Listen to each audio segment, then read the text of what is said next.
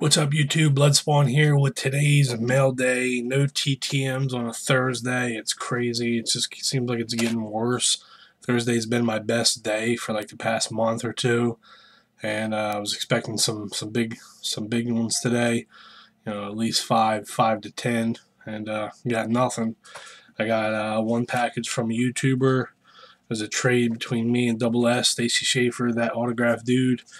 Got an Alex Trebek signed index card and a Martha Stewart signed index card that uh, I'm uh, going to build mat pieces out of these. Martha Stewart with Joan Rivers and Melissa Rivers. Alex Trebek with uh, Pat Sajak and probably Vanna White. Alright guys, that's it for me. Real quick mail day. Again, nothing, so hopefully that means Friday and Saturday are going to be really awesome.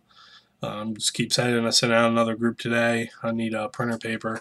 I'll pick that up in the morning before I come home and uh, bust out another 30 or 40 letters tomorrow. So just keep on sending and uh, wait for the stuff to come at.